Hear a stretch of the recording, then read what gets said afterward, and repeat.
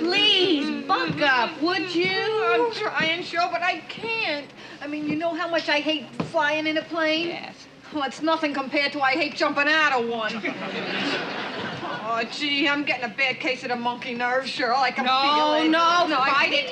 Fight it, all right. Fight it, fight it. Don't embarrass us in front of these people. Fight, fight it, fight it. Oh, fight it. Well, you girls are about to do a 5,000 foot swan dive. Hope them chutes open. All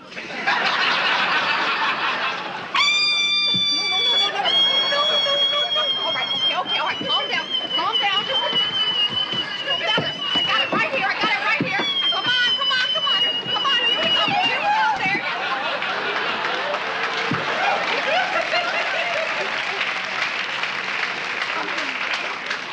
Just a little potassium deficiency, that's all, so. Now, hear this. After all the teams have jumped, we're going to circle back around. We're going to drop your supplies. Now, when you're ready to throw in the towel, you just fire up your flare gun you got here, and I'm going to come down and get you in my helicopter. Now, don't think of this as a contest. There's no winners, no losers. Only heroic survivors and scum-sucking quitters.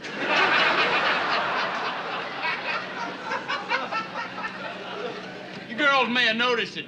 I ain't got no partner. See, I don't need one. Day ain't never gonna come when Lou Duff needs help to whop a couple of prissy little girls. Well, may I say, sir, that not only will you lose this contest, but you have just lost my vote for Mr. Congeniality. Drop time. All right, everybody, let's hook up. Move out. Come on. Move out, Private. Push me. All right, all right,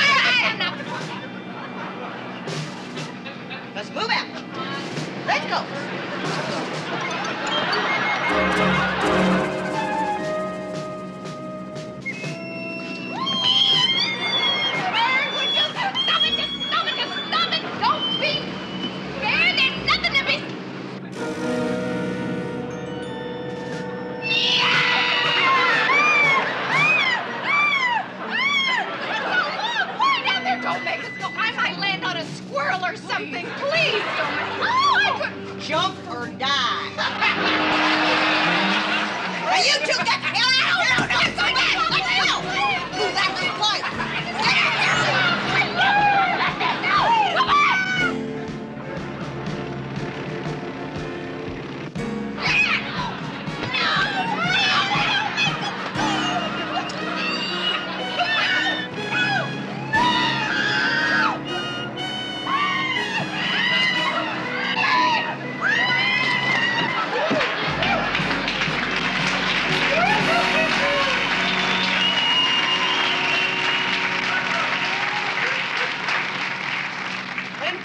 gonna make me as proud as a mother of a 10 pound potato.